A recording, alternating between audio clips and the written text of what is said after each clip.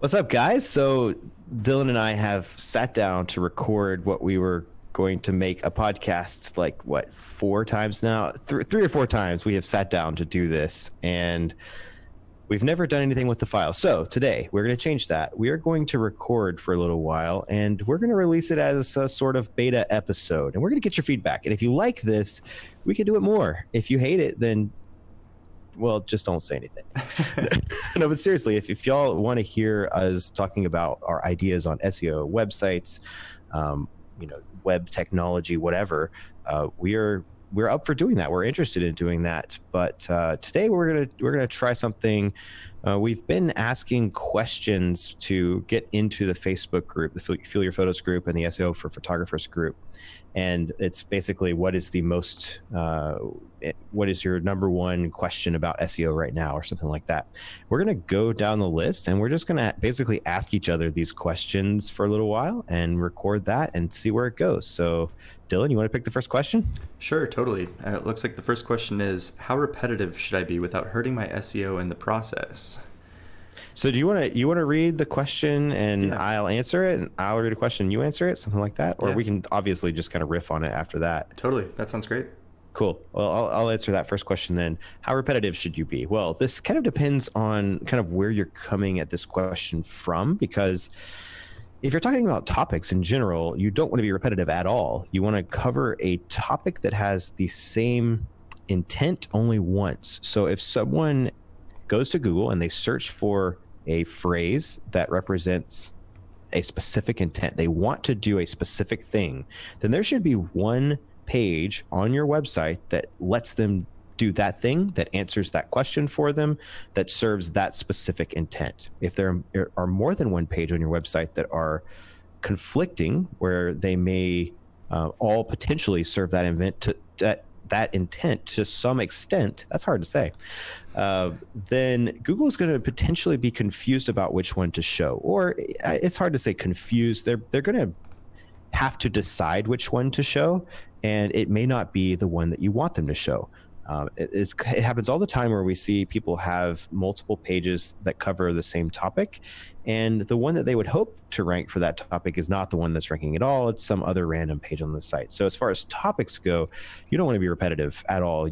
Now, when it comes to topics that potentially have multiple intents, this line gets a little fuzzy. And I won't go into like really specific examples right now, but the idea is sometimes someone could want something a little bit different let me just try to come up with one example. Let's say I am searching for uh, something about a wedding photography contract. Well, that's a topic where I could be saying what I want is to download a sample contract. So if I had a page on my site that had PDF download, free download, words like this with actual downloads on the page, Google would probably serve it for that type of intent when they when they assume that someone wants to download that uh, contract. But maybe I'm a client who is curious about what's typically included or have questions about a contract.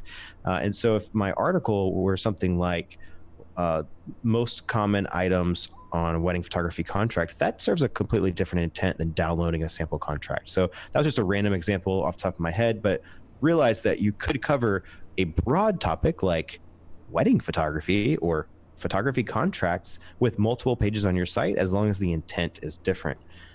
You have anything else to add to that? Maybe Dylan, why don't yeah. you other other than that, like being repetitive, maybe talk a little bit about on a single page with a particular phrase or keyword. Exactly. That's that's kind of what I was thinking while you were talking is the other situation for repetition in SEO is often what used to be like really referred to as keyword density or how many times you repeat a certain phrase on a page and for a long time, people were always talking about like how like increasing keyword density would improve rankings, and then it became in vogue to look at decreasing that keyword densities to make sure that you're not hurt algorithmically uh, with your rankings. And I I do think it's something to think about in some situations. If you if you think that a page really isn't ranking where it should be, then it's time to start looking at competitors and see how many times they're possibly repeating similar phrases.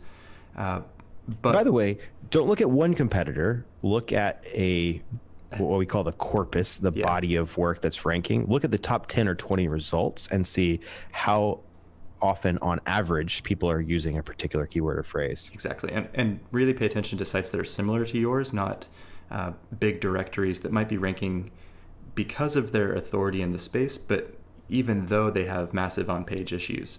Um, and so it is some sometimes something to think about. I think in general, people need to write naturally, write for the user, and in doing so, you generally say the topics and phrases that are required to rank an, an, a normal amount of times or a, a, a decent amount. Um, there's very, I can think of situations where it's been helpful in the past to actually look at those numbers and, and increase those keyword densities or decrease. Uh, but almost all the time, I, I just want people to, to write for the actual intent behind the query that Corey is talking about. Yeah, so a good thing to a good rule of thumb might be if you can read it out loud and it sounds normal, if you would read it to a person who asked you the question directly off your page, it's probably to- totally fine. Um, that being said, there are plenty of cases we've seen where if you want to rank for a very specific query, let's say that you did some keyword research. Again, careful with this because uh, tools can be misleading there's a whole weird situation going on with volume with keyword tools that we've been talking about behind the scenes. Not going to get into that today, but the idea is let's just say you you're pretty sure maybe you looked in search console and you found that a specific way that people type a query gets 10 times more search volume than any other variation and you really want to target that specific uh, phrasing of the term including that exact phrasing in places like your title or the h1 or um, maybe using that exact phrasing at least a few times on your page can be very important in some cases. It's not always important. So, this is a really hard question to answer because it's very dependent on everything else that's currently ranking and how Google's determining relevance and how much they know about the topic and things like that. Um, so, anyway, the point is like if you if you want a rule of thumb read it out loud see if it sounds normal to something you would say to someone else. And, and then outside of that i would say on a typical page that's you know let's say a thousand words if you're trying to rank for a very specific query that's like a two to three maybe four word phrase you probably want to use that somewhere between four to ten times. It's like I'm just making that up. Don't take that as like yeah. this is the exact keyword density that you need to use. But on average, that's kind of what I typically see. Yeah, and one like super advanced tip: there are tools like uh, keyword or SEO Surfer or Pop or Cora that kind of do this research for you. There are a lot of issues with them as well, but like they will take your top competitors and look up exactly how many times each one of those phrases is used and give you a recommendation. It's going to, going to be more accurate than a recommendation like uh, Yoast that's just saying, in general, to all websites, use your keyword five times, but um, it's not perfect. So just keep in mind with almost all SEO tools, they require knowledge to be able to figure out when to disregard and when to actually take their advice. Perfect. All right, I'm going to read you the next question. Let you awesome. start with that. this is a good one. is it a good or bad idea to name my business city name photography? So for you, yeah. let's say your business was literally Portland photography or Portland wedding photographer. Yeah, totally. So in general, for SEO, this can be a tactic that works. Um, branding yourself might be a little bit more difficult. Uh, I think whenever somebody hears a term like, would you buy a car dealership from Portland car dealer? Like, um, I don't know. Like it it it makes you seem somewhat generic, but if we're just looking at SEO, it does open a few possibilities. Um, first, every time that term is mentioned online, Google kind of has to figure out if they're mentioning your business name or not, which could possibly think or make Google think that you're being uh, talked about more online than other photographers or that there are more citations about your business online than other photographers.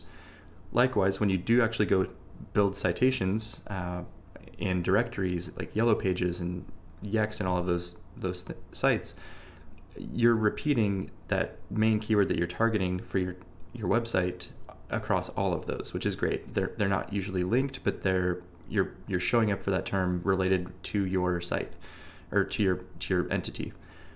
And then what gets really interesting for SEO is that it unlocks the ability to use that phrase as your anchor text across all of the links that you're building to your site very naturally.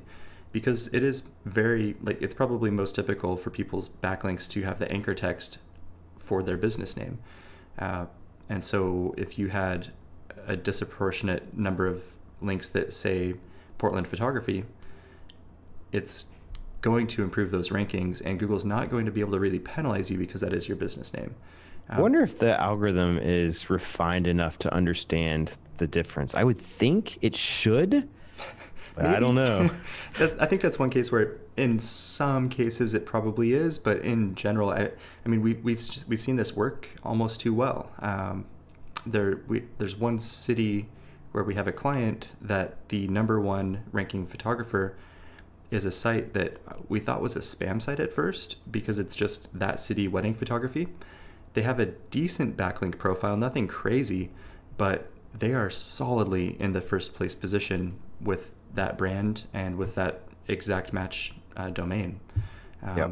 And they don't really deserve to be probably like they're not the most authoritative photography company in that in that city by far. And the site is terrible. The site, like we said, we thought it was spam. We, it's that bad. yeah. Um, what about the challenge of uh, Google My Business, and let's say that you know, on average, I would say probably thirty to fifty percent of organic clicks to a photography website are some form of branded search. Yeah. Um, that's just like people who aren't doing like amazing with SEO and have tons of articles that are driving traffic. But for like sure. on average, for the sites I look at, it's probably around 30% of all of their traffic from search is branded. Yeah. So if your branded search is Portland photography and someone does that search, they're they're probably not very likely to get a knowledge graph panel for that. Sometimes they may. Yeah. Uh, but what do you think? What are the odds, and could that be a bad thing? You're right. I think that is one of the that is one of the drawbacks is that you're not going to see a knowledge graph. So it's going to lower the click through rate for your actual branded terms. Uh, so, so that is an issue. Um, but personally, like we've seen how well Google My Business like spam in the title of a business works. Like if you add your your target keyword to your Google My Business listings uh, company name, it's going to rank better. Typically going to rank in the top 10. Like it just works. And so if your business is actually named Portland Wedding Photography, uh, I mean, I think currently in Portland, there's a business that has that set as their name and they're ranking in, in the top 10 results when I check. So in the map um, pack, you're saying? In the map pack. So, like, you're going to see an increase in map pack, probably. You're going to see an increase in, like, organic top 10 desktop, like, web results. You are probably going to see a decrease in branded, but if those people are actually looking for you, they're probably going to try harder than the typical person to make sure they find your website. So, I think overall, all things considered, it's probably a net gain. You just have to really be able to commit to that branding because it's not like you're just going to sound generic and kind of spammy if you're calling yourself Los Angeles wedding photography or something. Yeah, it does. It is a little weird. I've seen cases where I think it could be really smart, um, especially I've seen some boudoir and newborn terms where I was like, you could totally just name your business that yeah. and dominate the ranking like almost immediately. Yep because people were thinking about like adding a separate piece of their business for boudoir or something. I'm like, well, why don't you just name it Portland Boudoir Photographer, something like that? Yeah. And if they did, that doesn't seem quite as uh, maybe it's just as spammy. I don't know. Yeah. That's up to your own personal taste. But yeah. realize one more thought on this. I've seen a few people run into trademark issues with this kind of thing. Mm-hmm. If you are using a name that, let's say it's Portland Wedding Photographer, but someone else is Portland Wedding Photography, maybe you just didn't see them, whatever, but they've had it for 20 years and they have a trademark on it. You could get in trouble with trademark there. Um, you may not be able to trademark certain terms like this that include a city name. It's a little weird the laws on that. So, uh, if you're concerned about trademark, then that's another thing to consider here. It, it can be a little muddy. Definitely agree. All right, I think we're ready for the next question. Yeah, go for it. Let's do um, what you need to do on a daily or weekly basis to keep slash improve your Google ranking. Man, that's a good one. Yeah. Daily or weekly basis. Hmm. So I would say if you've done all of the right things in the beginning, to maintain your rankings, you don't necessarily need to do anything daily, maybe not even weekly. It kind of depends on the market, it depends on the keywords, the competition.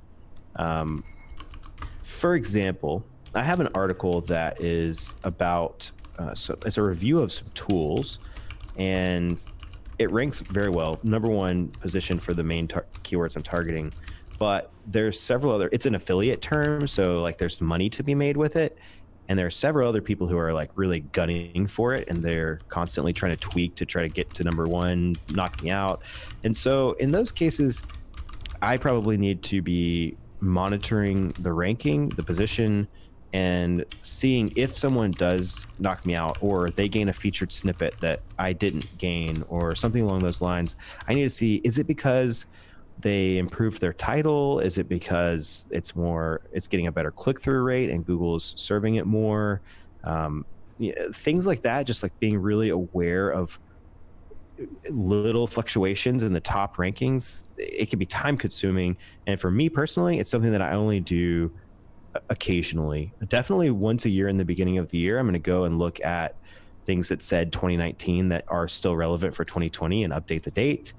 Um, you know other minor changes there's there's like a hundred changes on some of my sites that i've been meaning to do and just haven't done um, but i would say it's a lot of monitoring and seeing how things are doing it's a little bit hard because when you get to different spots there are different actions that you would potentially take so let's say you weren't ranking at all you did some seo work and now you're on page three right now, your, th- your thing you want to do is probably wait a little bit longer. But let's say you wait six months and you're still on page three. You just can't get past that. Well, in this case, I'm probably going to focus on some more on page changes to see if I can bump it on up to page two, maybe page one. But let's say a different scenario. I was ranking page five or six. I do some on page, make it excellent, and I get to the the top of page two. I'm position 12 or something like that.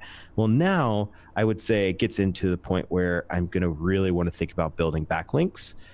Uh, that's at least a possibility, something I might need to do. So, as a daily or weekly activity for SEO, the first things that come to my mind are typically build backlinks, get reviews, um, make new content. Like, yeah, totally. other than monitoring and tweaking, it's those things. And so, as far as like how to get backlinks, that's a long conversation. We can have on another episode. But you know, just thinking through what can I do today to get someone to see my content, to link to my content. Um, what kind of new content can I create today, or how can I get reviews from the clients that I'm working with today?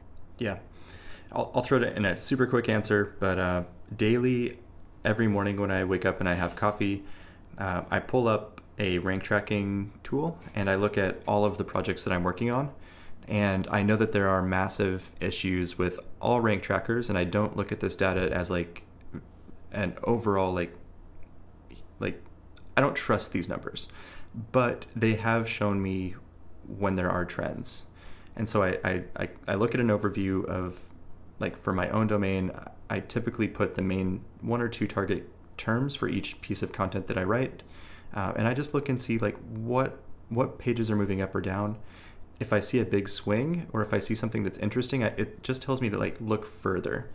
Um, and then after I'm done looking at those for all of the projects I'm working on, I look at Google Search Console and I look at the overall trend of the domain. Uh, and then I my, my favorite quick metric is to look at uh, 28 days versus the previous 28 days, which pages and which queries are gaining or losing clicks. I also That's like to look at, yeah look at that on a weekly basis. So uh, current seven days versus previous seven days, like that week, which pages are up or down. Uh, that's going to tell you the real numbers that those rank tracking tools aren't really able to show. Um, and if I see that something has lost a bunch of impressions and clicks, then I know that either somebody took me out of a position that was had a high click through rate, or maybe Google realized like this is not the right content for this query or something, and I, I need to really dive in. Um, outside of that, like Corey said, building links is like I think the number one thing that I think about outside of creating content. I think that both of us we spend some time like thinking about link building, but most of the time we're just like, there's so many content opportunities and, and topics that we can write about and create content for that would bring traffic without links or with very few links um, that we we have an, we have endless notebooks full of ideas. We just need to get written, formatted, and published. So, exactly. So yeah, in our case, with our sites, especially, we're thinking about the Fuel Your Photos site, um, a few other random projects that we have that are very content driven it makes more sense to spend more time on creating better content, more content than it does to pursue link building at this point. Uh, but if you are a small local service business, and like I said, you get you find yourself in that situation where you just can't budge from position twelve, creating more content might not help if you're if you're really after a single ranking for a single keyword and you're in position 12 like more content is not necessarily going to help you rank better for that keyword whereas links might. So prioritizing that depending on your situation um, is certainly something to think about. Let's go to the next question. Cool. Okay so this is an interesting one uh, i'm interested to see how you take this or yeah. which direction you take this how can i correct all of the things i have been doing wrong with seo yeah so first thing um, is prioritization. So this can take some knowledge or experience to really uh, get right. But one problem with SEO is that it's very easy to create extremely long lists of all of the issues that are wrong with your site. Uh, people like SEOs can do that all day. Auditing tools will tell you that you have 15,000 errors that you need to fix on your site. Um, you'll get the emails in your inbox from spam SEO people that are like, we, we found 3,000 issues and then we, we can fix these and you have a number one ranking. Not true. Um, and if it is wrong, yeah, just wrong. um, if you do have a lot of issues, you still need to prioritize which ones are going to give you the, the greatest benefit for the least amount of work. Or sometimes you just have massive issues that have to be fixed because they are completely ruining any ranking potential your site has.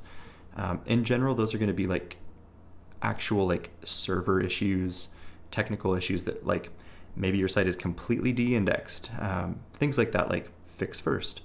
After that, like a bare minimum of like somewhat fasting loading website, I think is kind of necessary these days. Like you you probably should have it loading faster than five seconds to see some success on SEO, like something like that. Um, but it really becomes site structure overall. And then content pruning is probably like where we see the biggest improvements from sites that have been around a while.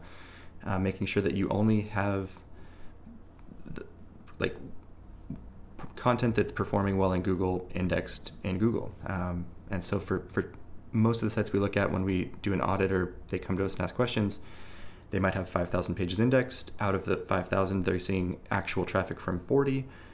They should have closer to 40 pages indexed um, and not the 4,000. So, like, fixing those uh, oversized images, compressing images um, is huge. Um, outside of that, it's it's pretty much like you're going to see the most uh, with most photographers, you're going to see the greatest benefit from just creating better content. Yeah, I think I agree with you on that. I like what you said about prioritizing what's going to actually move the needle. I, I think if it were me and I were like, okay, I've been doing SEO wrong for 10 years. I'm starting to learn how to do it right now. What, what should, how can I fix what I've done wrong? Yeah. I would start with kind of a self audit. I would probably look in Search Console and I would see what are my current top performing pages? Let's you're probably going to find that it's five or six pages that are driving 80% of the traffic to your site. It could be as many as 20 or something like that but it's not going to be a lot of pages that are driving most of your traffic. I would go to those pages and i would try to focus on fixing the problems with those pages so that they can perform even better if that's a possibility. Um, and then you know obviously pages like your home page that's probably going to be on that list yeah. um, you know fixing some of the issues there you know, if if you know you have issues with things like you've got some spammy things going on with Google My Business or other citations or like weird backlinks or stuff like that. You might need to be taking some steps to like backpedal, disavow some yeah. things, clean up some things like that. Most people probably aren't going to find themselves in that situation unless they were just like taking really bad SEO advice and eh, you know whatever. But I think for most people, it's going to be it's going to be first find the pages that are most valuable to you and clean those up think about what other pages you can create that are similar to those pages. And then third, what Dylan was talking about last there, cleaning up the dead weight. And most often, you probably need to do a big cull. Just I've I've seen forty percent, sixty percent just deleted all in one go and not hurt traffic whatsoever. Yeah. On my site, I just recently my my photography website that's kind of become an experiment website. Recently, just did a big experiment with this, and this could probably be a, a whole podcast episode. Yeah um, but I deleted, I think I had around 115 total pages and I deleted around 90 of them. Wow. Deleted. No That's 301 awesome. redirects. Yeah. Nothing. Just gone. Just straight up gone. My traffic has only gone up since then. So that's awesome. It's not a direct correlation of like deleting this made my traffic go up. I, I wrote one new piece of content that's been bringing in a lot of new traffic, uh, but the deleting has definitely not hurt any of the rankings of the pages that were actually ranking, the ones that I kept. Uh, so understand that sometimes old bad habits can be dead weight that do hold you back and you need to cut them off. Um, and of course, we have a whole flow chart on how to do this and like exactly what to do, and when to do it, yeah. whether you should delete, no index, or redirect. Um, and it takes you through uh, or re-optimize for something else. Like we have a whole chart of how to do all of that. So it's a little bit complicated to explain every scenario, but we did our best with that flowchart in the course. All right. Uh, this question's for you, Corey. Um, how to improve SEO in multiple languages? Why do you give me that one? That should be for you. I was thinking the same, but it's okay. um, I say that because Dylan has actually worked on sites that are multilingual, like big sites uh, that have millions of pages in another language. I, mean, um, I can take it if you want, but it's fine. yeah, yeah. Let me, let me give my first initial thought on it, and then you take it from there. Cool. My initial thought is probably okay. So again, thinking from the perspective of a photographer, probably you don't need to like. Yep. In most, in like 95% of cases, you don't necessarily need everything translated. Um, you need to pick a primary market and you need to understand who's searching for you and what language they're using to search. And you need to really hone in on that. Yeah. I'm sure there are edge cases, especially when you get into Europe, where you have countries that you're like on the border and you could easily get people from from either side that may speak a different language. Those cases are tricky for sure. But like in general, my thought is why are you trying to optimize for multiple languages? Do you really truly have two completely separate markets that are going to equally be searching for your services in their own language? Yeah. What do you think? I mean, I was thinking about this exact. I, we've had quite a few of these questions pop up in the last few weeks. I started doing a blog post on this topic, and I was thinking about this yesterday. That you're right. I don't think most of those people actually need to invest the time and the technical like resources that are required to do this properly. Um, not for photographers. Like this, this isn't an, an e-commerce site that needs to be able to sell worldwide. These are people that, like you're saying, if they really look at their business, they have a primary market, and that includes the the main language that those people speak. Um, I have had maybe two clients in my career that didn't speak English. I don't need to cater my website to their needs, they were able to find me and book me. Um, it would be just kind of absurd for me to like translate my site, uh, do the href tags that are necessary, um, make sure that the copy is actually saying the right things and putting off like and giving them like the right uh, messaging into those different languages. Um, obviously you're right. If, if I was in Europe and it's like you're in Switzerland and you're like, do I do I do German? Do I do Swiss? Do I do French? Like that becomes tricky. Um, and in those cases, there are decent translation plugins that, from what I can see, most of the time almost always do the hreflang implementation correct, but it's complex. Um, yeah, essentially, the thing you're really wanting to think about here is remember earlier when I said that sometimes Google has to guess and we don't want them to guess. We always want to tell them exactly what we want them to do. And so hreflang, what Dylan just mentioned, is just the way of telling them, hey, this is the one that's in this language, and the the alternate that's in another language is over here, and vice versa on the other page to keep it extremely clear. Google doesn't have to guess, should I index this French page in the English Google, or should I index this, you know, English page and the French Google? Because they they're gonna their indexes are to be different across the different uh, engines. Now they won't be hundred percent different. Google will index uh, sites with different language on, like in English, you'll find sites that are indexed on from other languages. That's totally normal, but you know, you need you need to give Google the the right message to say exactly what you want them to do. That's the trickiest thing as far as technical. As far as strategy goes, though, it's like it's a mess. It's so muddy. It really is. Yeah, it's hard. And we've even seen with all of the technical done properly, sometimes Google's like, we're only going to index the French version of your site and serve it to people worldwide. So that's great. um, so yeah, it's it's a minefield. I I think in almost every case it's not worth the effort. Um, and I would really try to persuade anybody looking into that to really, really, really think about their their target market. Yeah. You want to do two more questions? Sure. Sounds good. All right we'll experiment with length guys let us know how long you want episodes like this to be if we're just doing q&a uh, how long do you want to listen to q&a can you listen for 15 minutes 30 minutes 45 minutes an hour uh, we're up for anything but let us know what you think all right let's go to the next and that is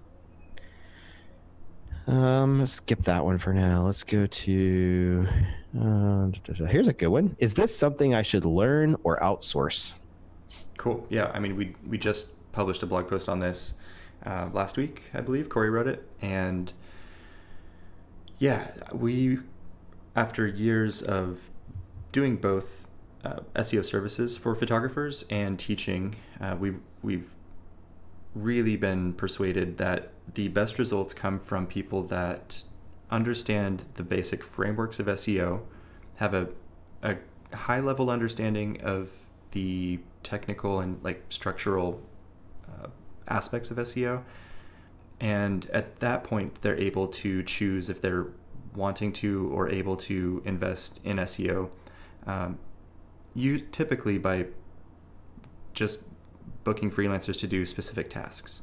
Um, we see time and time again most of the people that book or end up buying like SEO packages, especially from larger companies or even some like smaller freelancey SEO companies, just people getting burned. Um, those packages often guarantee a lot, and they might be at a fairly low price point, and they can have they, it can range from wrecking your site with spam links and bad technical implementation to just not doing anything and being a total complete waste of money. So it's yeah, we we really think that people need to be educated first.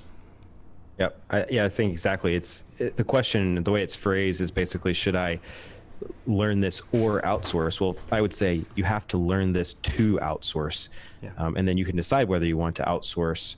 I would say, for us, it makes sense to outsource certain tasks uh, once we have a high level of understanding of how things work and what we want. So, for example, we're talking right now about hiring some people to do some writing for us.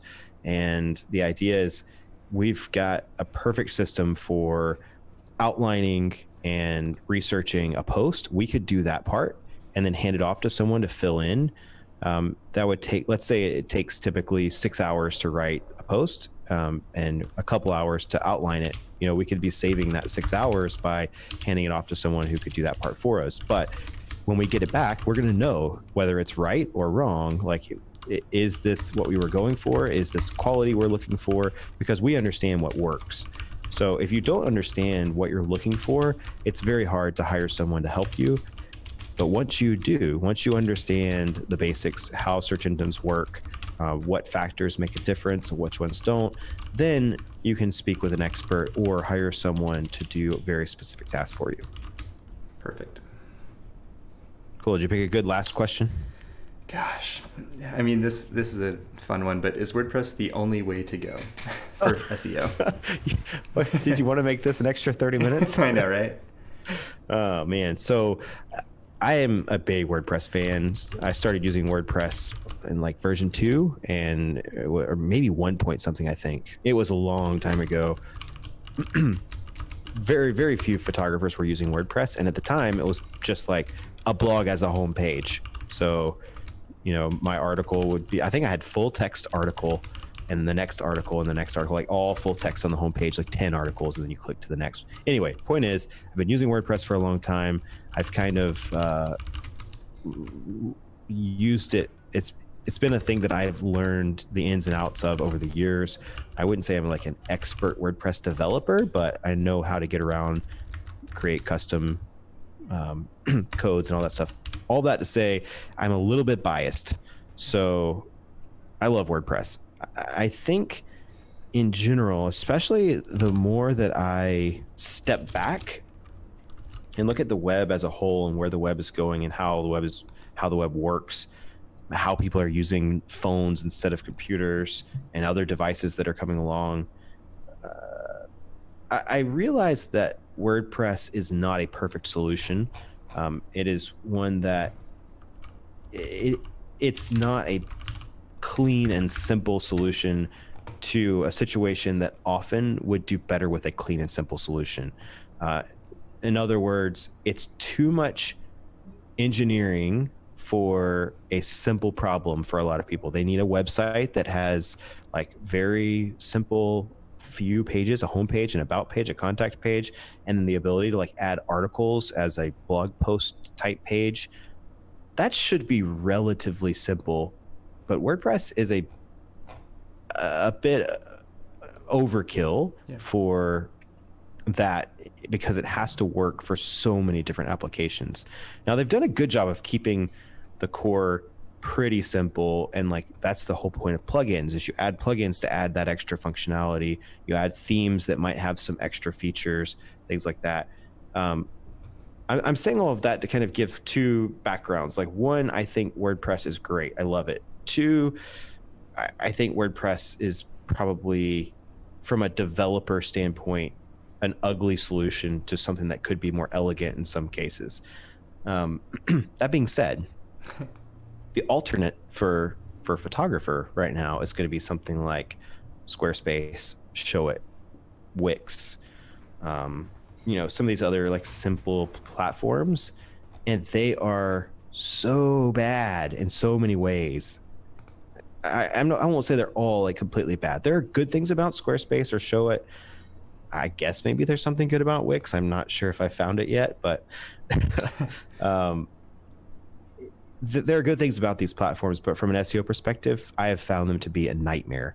And so there's just when you start to get into the scenarios like the ones that we face with clients who are having problems and come to us, typically that's whenever Squarespace and Showit are extremely limiting. If you never run into those kinds of issues, maybe they'll just work for you perfectly forever. There's probably a lot of people who are happy on the platforms because they're just working fine. But if you start to try to work on some sort of advanced strategy, just the other day in our um, our course community, we had someone who we we had been talking about table of contents plugins, and they went and added a table of contents to a whole bunch of posts in WordPress, um, and over the course of a couple of weeks saw a, a large increase in traffic across those pages and I think they were getting more featured snippets and things like that. And that's the kind of thing where you just can't do it. You can't do it in Squarespace. Now, in Showit, I guess technically, if you're on like the highest tier and you can add plugins, you could still do that theoretically if you can get it to work. Sometimes there's problems with dropping shortcodes in because of the way that the the, the Showit side handles the WordPress. So maybe maybe it could work on Showit, but the, that's just a one example of like if you're working on anything advanced or if you're working on new and emerging technologies, AMP is a huge one that we're thinking about like so hard. Now, right now, to be fair, it's probably easier to use AMP on your posts in Squarespace than it is on WordPress because you can sure. just like turn it on. Now it's going to be ugly as heck, but um, but it works. You could turn it on and it could get you better rankings like yeah. almost immediately. Whereas in WordPress, it's going to be a bit of a pain. Yeah. But yeah, thinking about AMP, thinking about getting featured snippets and the way that the the SERPs are shifting, and just being able to adapt to that quickly with the format of your content. It's so hard on a closed platform. Whereas on WordPress, someone's working on a solution for all of these things all the time. There are plugins out there. You can have someone, a, a developer, easily customize things for you. Yeah. I just can't imagine using anything other than WordPress for like the average photographer right now. I mean, um, like most of these platforms are multiple years behind on many like web standards, like uh, WebP. Um, when is Squarespace going to support that? I, never. I don't know. Like um, AMP was a great example. Lazy loading, like native lazy loading that now works in Chrome, Firefox, Edge, like it's going to be in the HTML standard. Is that ever going to come to Squarespace? Uh, probably not. Like, um, I mean, eventually, but like that was working when WordPress, like, or like as soon as it's like a beta feature in some browser, there's a WordPress plugin. Like, yeah. um, and th- those are just quick examples to say that like, or like ShortPixel is one of our favorite WordPress plugins that automatically compresses and resizes your images if you use that and then put them into Squarespace, Squarespace recompresses at a higher file size and upreses your photos to 2500 pixels wide. Like, it just those things are so frustrating on other platforms. Um, WordPress isn't perfect. It can, it's getting better. I mean, I, I was thinking about the ultimate category, my my personal cycling blog website that I just built on WordPress, and I use the standard theme that comes with all WordPress installations now. I'm using the Gutenberg builder that is in all WordPress that process was not terrible. Like I, I, I feel like if people only know WordPress from five or six plus years ago, they need to give it a second look. Uh, yeah, or they're using some really bad themes, something yeah. they downloaded on ThemeForest that yeah. you know again was trying to cater to way too many people, or some terrible page builder. yeah, you know, even some of the good ish page builders like yeah. like Divi, ProPhoto, Flow Themes, even and their their new builder and their Flex builder. Like all of these are they're they're good. They're innovative solutions. They're interesting solutions, but they can also break a lot of things yeah. and bulk up a lot of things that don't need to be bulky. It goes back to that whole like things being over engineered so that they can apply to multiple situations. Whereas like a perfect solution would Dylan, you want to talk about uh, something like Gatsby or something? Yeah, I mean, perfect end solution like to get rid of all of these would be there's a, a JavaScript framework called Gatsby. It's pretty it's based on React components, but they put performance first. It's uh, serverless. Um, it's just pretty much like everything works. Like AMP is a little bit of a problem. Like we're we're looking at how to do this with AMP, uh, it can accept any data source. So you can use WordPress in the backend, but they're not using WordPress to actually show your pages to users. Um, it's easy to host these on CDNs so that all around the world people are getting the fastest, like they're getting static HTML pages directly from the closest possible server. They're super fast performance. Uh, they do a lot of like, that that part right there. Yeah. That's the key. Is that WordPress introduces a database into places that sites don't technically need the no. database wordpress sites like no. that's why you know something like gatsby can work with markdown files even on blog posts it because really all you're doing is saving photos and text and like you don't necessarily need the database to be able to do that uh, this kind of stuff i don't know i'm sure. i'm kind of on the fence on how i feel about that for like this the typical site especially like a blog site yeah. i i think it's probably a better solution, a simpler solution that would work. I'm still happy with WordPress for now, yeah. especially when you use WordPress like it's intended to be used. So if you're we I at least am a WordPress purist basically where I believe that WordPress core should be used you know it's like the engine of your site and then you add plugins to add functionality, you add theme to add styling and you can build in those areas, but you don't like introduce all of this random crap that most themes and plugins are doing. Like, ugh, it just Yeah. starts to get such be such a mess. And, and I think with Gutenberg, it's becoming more and more possible, especially right now. If you know some CSS, you can probably make Gutenberg do almost anything. Totally. Exactly. And if you don't So- know CSS, a web designer that does is going to be quite cheap. Like, Uh, Everyone who does web design knows CSS, so it's easy to find someone to help. yeah. Anyway, we, we talked about that for too long, probably for a Q and A episode. We, Yeah. we should do a whole episode on WordPress sometime. I think totally. WordPress versus Squarespace or Showit or something. Nice. Cool. Well, why don't we wrap this up here? Uh, and guess we really want your feedback. So let us know what you thought of this Q and A format. Did you like it? Is it interesting to listen to us talk about these things? Um, we're going to try a different format as well, but we want to see how this would go with this kind of Q and A. We have hundreds of questions that people have submitted, and we could always take more from the audience. I don't know how long we'll be able to do this before they get like really repetitive, Yeah. but I, I mean, there's a lot of different questions. So For sure. let us know if you like it, and we'll do it again. Any other final thoughts, Dylan? That's pretty much it. Thanks, everybody. All right. See you next time.